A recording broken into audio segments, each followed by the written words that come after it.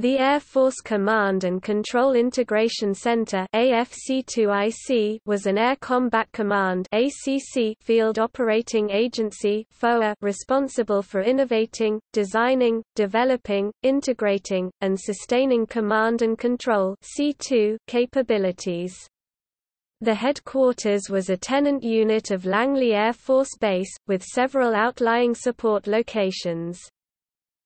The AFC-2IC deactivated in 2013.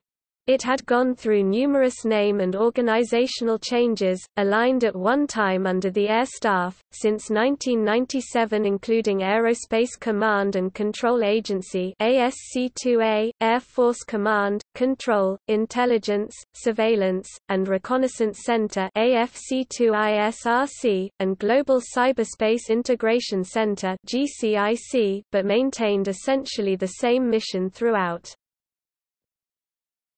Topic history The center was initially established as the Air and Space Command and Control Agency ASC-2A on 1 August 1997.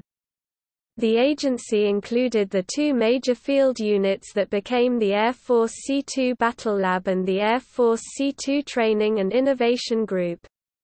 The Tactical Air Forces Interoperability Group was a predecessor organization under Tactical Air Command. It was focused primarily on tactical interoperability and was a leader in the improvement and integration of tactical data links and message text formats, a responsibility AFC2IC carries on today. Intelligence, Surveillance, and Reconnaissance was added to the agency's mission and it was redesignated the Aerospace Command and Control Agency (AC2A) on the 15th of September 1998. A few months later, on 1 January 1999, the AC-2A again expanded its mission, taking on responsibilities such as unmanned aerial platforms, and was officially redesignated the Aerospace Command and Control and Intelligence, Surveillance and Reconnaissance Center AC-2ISRC.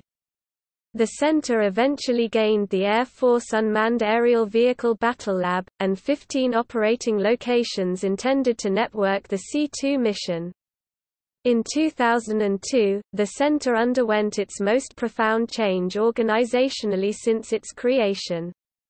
On 15 March 2002 the center was redesignated the Air Force Command and Control and Intelligence, Surveillance and Reconnaissance Center AFC2ISRC and realigned as a field operating agency under the Deputy Chief of Staff for Warfighting Integration AF. 11. A year later 11 was transferred to report to the Secretary of the AF, and the office symbol was changed to SAF, XC.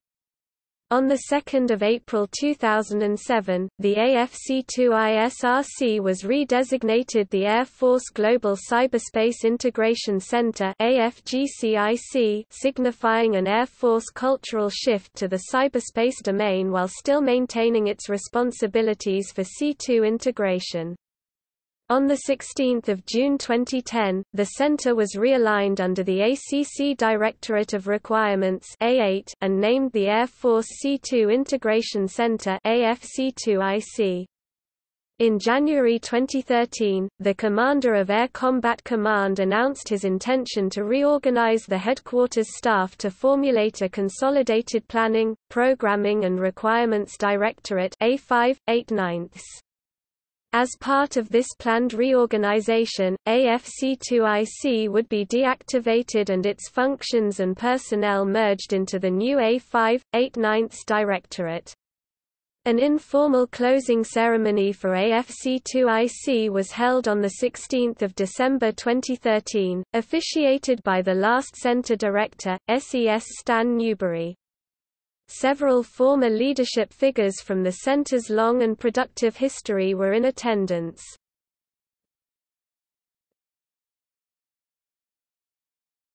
Topic: Air and Space Operations Center The Aerospace Operations Center AOC, later Air and Space Operations Center has been a central mission for the center.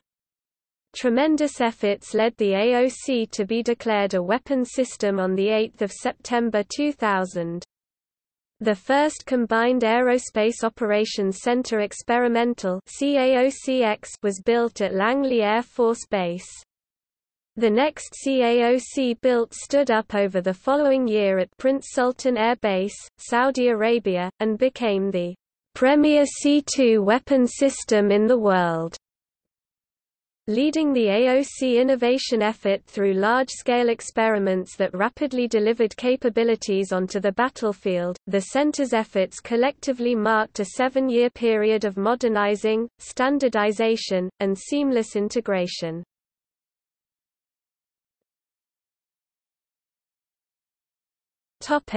Joint Expeditionary Force Experiment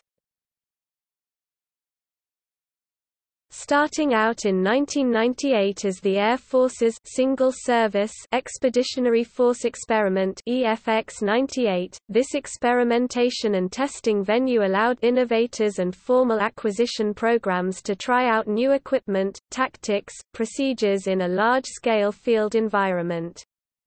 The equipment tested included C3 systems, vehicles, aircraft, software, radios, etc. focused on enhancing information, ISR collection and exchange, and improving interoperability.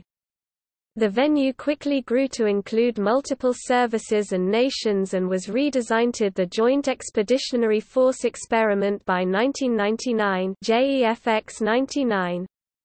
It was subsequently conducted biannually in 2000, 2002, 2004, 2006, 2008 with particular emphasis on C2 and improving the kill chain.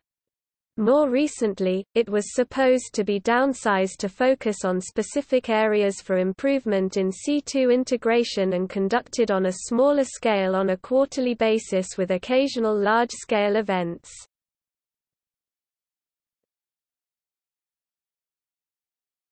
Topic: Tactical networks integration. Tactical data links and voice networks are essential to C2 and situational awareness of forces in the battle space from the tactical edge to the Joint Task Force. AFC2IC has been leading the way in integrating these networks for the Air Force, other services, and other nations throughout its history including Link 11 and Link 16 improvements, TDL network management, integrators and gateways, Joint Tactical Radio System, and emerging developments in airborne networking.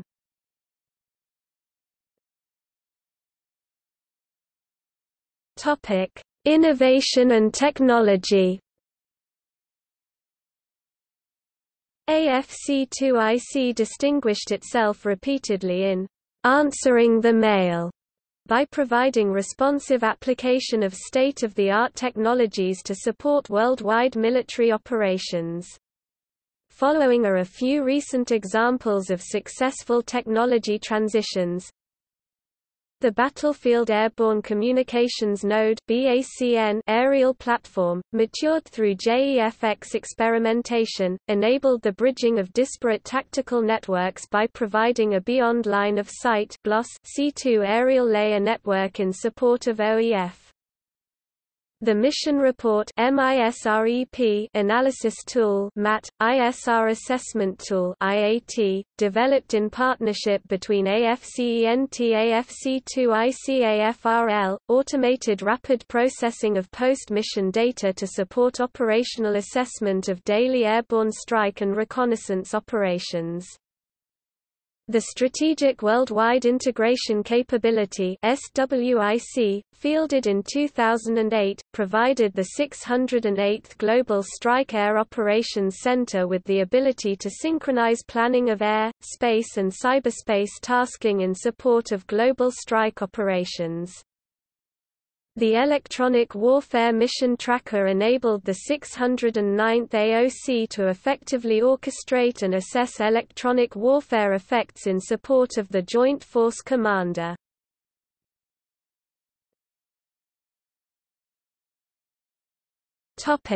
Commanders, Directors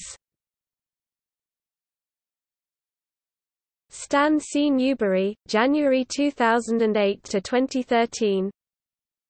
Brigjen Mike H. McClendon, July 2007 to January 2008. Marge Gen Kevin J. Kennedy, June 2006 to July 2007. Marge Gen Tommy F. Crawford, July 2003 to June 2006. Marge Gen Robert F. Behler, August 2001 to July 2003. Marge Gen Gerald F. Perryman, May 1999 to August 2001. Marge Jen John W. Little Hawley, July 1997 to June 1999. Topic See also Air Combat Command Langley AFB Air Operations Center Airborne Networking Tactical Data Links Link 16 JINTACCS JTRS iSmart Vocabulary OneSource Network-centric warfare